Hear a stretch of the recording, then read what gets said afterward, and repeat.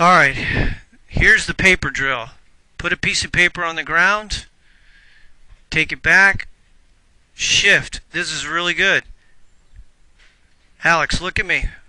I want you to practice rolling your ankle. See, your ankle's not rolling. Watch, look at your right foot. See how it comes up and it does this? I want it to roll in. Yeah. But look, this is good. Look how you shifted your weight here. Now watch, you, you shift forward. That's what I want. That's what I want you to learn. That's your homework until I see you again. Don't sway. Don't let your hip go sideways on the backswing. You got to turn it in the box. And then you shift it. And that right ankle, it's got to roll inward. Like this. The right foot rolls to the inside. You can lift the heel up, but you got to roll on the ball of the big toe. So wait, is it a is it a hip like this or a hip like this? Just turn your hips.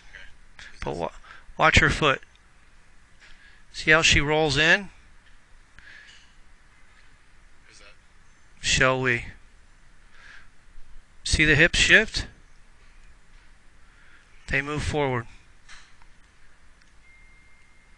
Alright.